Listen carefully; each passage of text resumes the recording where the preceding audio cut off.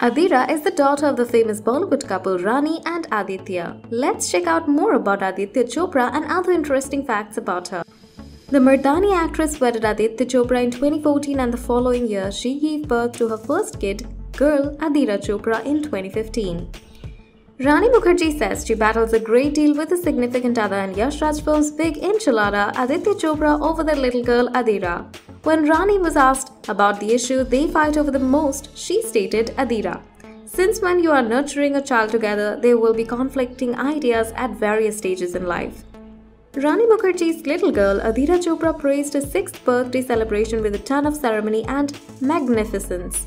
Star kids who went to the gathering include Abraham Khan, Misha Kapoor, and Zain Kapoor. Adira Chopra celebrated her fourth birthday celebration with a glitzy unicorn themed party.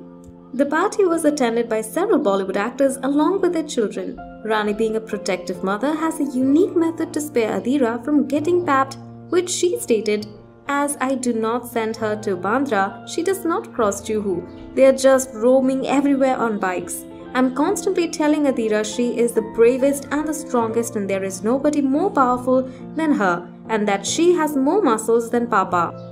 And I'm inculcating that in her brain from now only because I don't anybody in this world to ever tell her that she is not powerful and that she is not strong enough. We love Rani's daughter, the rescued bonding with Rani.